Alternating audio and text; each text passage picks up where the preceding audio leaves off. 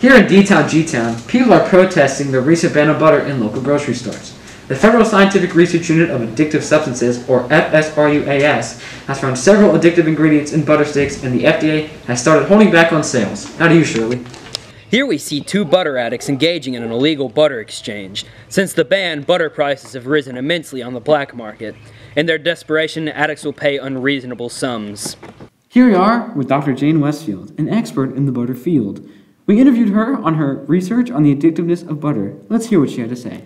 Well, you see, um, based on the test results and all the studies we've had, as you see here, um, children, since their amygdalas are not fully developed yet, um, the butter has a different effect on their brain, causing them to make harsher decisions and sometimes go, as the kids would put it, crazy.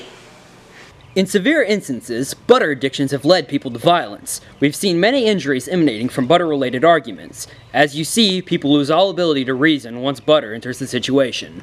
Why are we just seeing these side effects now after years of butter consumption in America?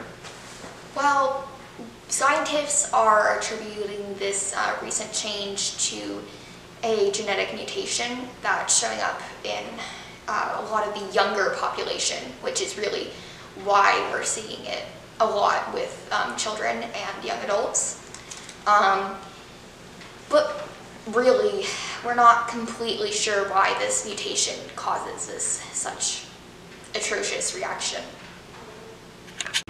Karen, an involved member in our community, raised some concerns on the butter crisis. We interviewed her to get another perspective on the issue.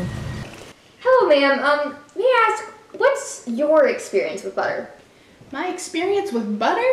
I've never touched that evil substance in my life. Well, do you know anyone who struggled with a butter addiction? Now, what kind of person do you think I am? Absolutely not. Now, what is the average Kentucky citizen supposed to do if they witness others partaking in the selling or consumption of butter? Um, I would recommend contacting the authorities immediately. Um, it doesn't matter if they're your friends or your family, and no one is safe from this. It's terrible, terrible thing. Talked to Rachel about her addiction, among other things. Let's see what she had to say. My addiction started a few years ago when my sister passed. And started as a small thing, putting it on my bread every morning for work, and in the span of a week, it snowballed into doing it every day, skipping school with people I didn't even know to go do butter. An anonymous source provided us with another interview.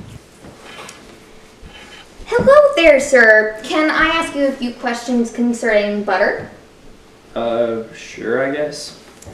Um, well, about. Would you mind telling me about how much money do you spend on butter? Well, um, I, I'd say I eat and I eat and buy about three sticks of butter a day. Like one for breakfast, one for lunch, and dessert. And Mm-hmm. if I can't get any butter, I'll get butter-like products. You know. Yeah, yeah.